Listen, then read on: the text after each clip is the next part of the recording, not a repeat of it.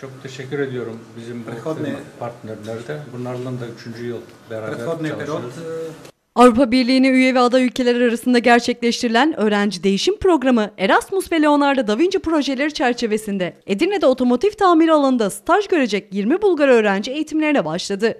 20 gün boyunca Edirne'de staj görecek öğrencileri Edirne'ye getiren Bulgar yetkililer Türk ortaklarıyla bir araya gelerek projeyi kamuoyuna tanıttı и да изкажа още път нашата голяма така благодарност към фирмите партньори, които с тях вече за трета година, за трети път работим заедно Çok по teşekkür европейски програми.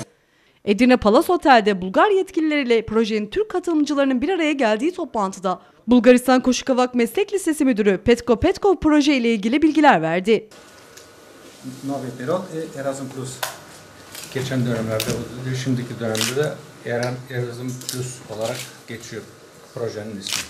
Petkov önceki yıllarda da düzenlenen ve bu yıl 20 öğrencilik katılımın olduğu projenin iki ülkenin kültürünün paylaşılması ve öğrencilerin profesyonelliğe atacakları adım açısından önemli olduğunu vurguladı. Proje kapsamında öğrencilerin ekip çalışmasını daha iyi öğrenebileceklerini belirten lise müdürü Petkov, okulumuz gerçekten profesyonel eğitim veren bir eğitim kurumu.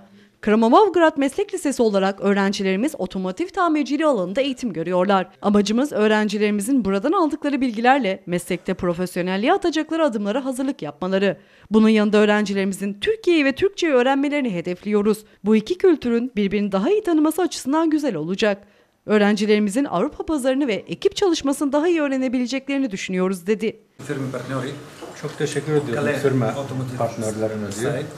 Kaleye Öte yandan Petkov 20 gün boyunca Edirne'deki çeşitli otomotiv markalarının tamirhanelerinde eğitim görecek öğrencilerin eğitimlerinin 18 Nisan'da sona ereceğini söyledi.